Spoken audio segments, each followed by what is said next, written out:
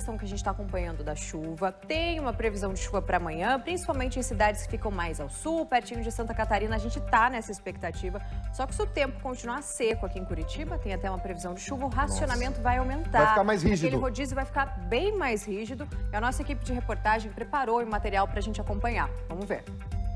Depois do pedido de redução do uso de água feito pela Sanepar, a população atendeu.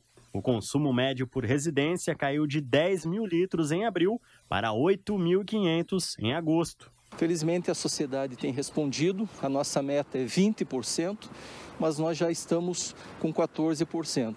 E acreditamos que chegaremos com a contribuição da sociedade nesta meta que é muito importante para que nós possamos enfrentar esse período bastante crítico que nós vivemos relacionado à crise hídrica. Apesar da colaboração da população, São Pedro não tem feito a parte dele. Sem chuvas, o nível total das barragens de Curitiba e região hoje é de 32%. A paisagem da represa do Passaúna muda a cada mês e atualmente lembra mais um campo. A previsão inicial da companhia de saneamento era de que a situação de abastecimento pudesse voltar a ser normalizada com o retorno das chuvas em setembro.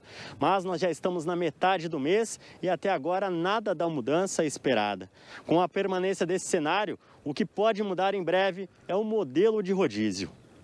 Se a estiagem persistir, se realmente não acontecer chuvas próximo ou superior à média, de maneira que os nossos níveis de reservatórios se aproximem é, de 25% de reservação, nós teremos que adotar o modelo D, onde passaríamos então para 48 horas sem água e 24 horas com água.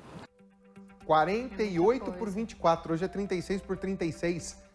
Aí vai ficar realmente bastante difícil. Temos que economizar mais um pouquinho. Agora, que imagem impressionante. O pato. É. Não, não é brincadeira, gente, é verdade. O pato, o Marcos de Pato, no meio da represa, sem água nenhuma coisa. e já já eu vou atualizar esses dados dos tá. nossos reservatórios, que serve como alerta para quem está acompanhando o Paraná no ar logo cedo. Tem essa previsão de chuva aí para o fim de semana, amanhã já tem uma previsão, não dá para se empolgar. 15 milímetros não faz praticamente diferença no nível dos nossos reservatórios. É então, muito cuidado no consumo da água, não dá para se animar com essa previsão de chuva. A ideia e o previsto é que teria que chover 100 milímetros por mês até janeiro. Quero só ver. Obrigado, Lu. Nada.